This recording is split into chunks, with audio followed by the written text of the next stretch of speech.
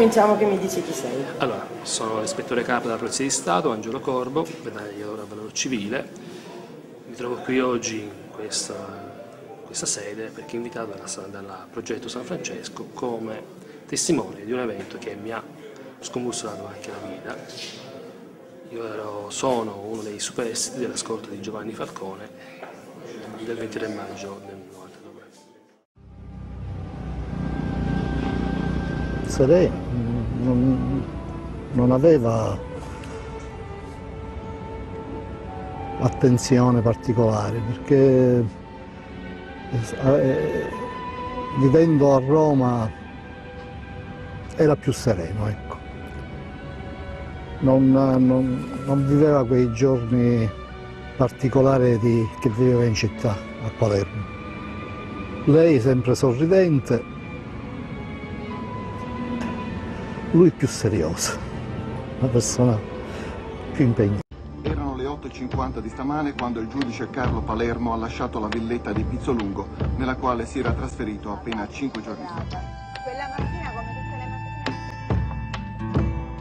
Le due vetture percorrono poche centinaia di metri, una curva. Al lato della strada una Volkswagen nera posteggiata. In superamento un'altra Volkswagen Scirocco con a bordo una signora di 30 anni, Barbara Rizzo, e i suoi due gemelli di 6 anni. All'improvviso una tremenda esplosione.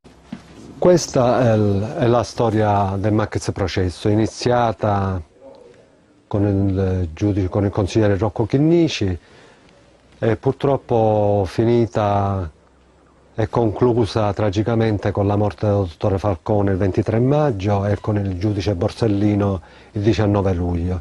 Quest'uomo era il mago dei computer del pool antimafia di Palermo che preparò il primo grande processo contro Cosa Nostra.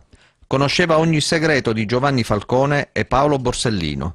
Le dichiarazioni del pentito Tommaso Buscetta, i verbali di indagine.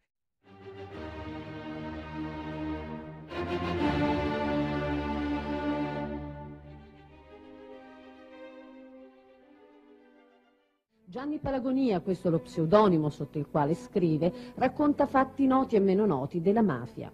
Lei ha scritto due noir dove chi li legge percepisce molto bene che c'è un confine labilissimo tra la realtà e la fantasia.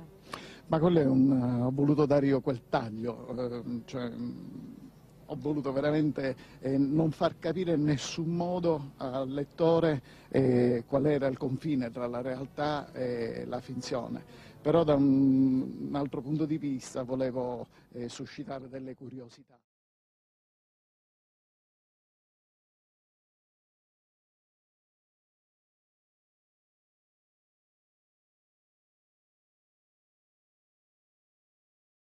Corridinonte è una vecchia leggenda di mio nonno, siccome ero sempre agitato da ragazzino, combinavo un sacco di danni, per farmi stare fermo mi disse che se avessi colpito con, con una fionda una rondine in volo e mangiato il cuore, sarei, sarei diventato un uomo coraggiosissimo.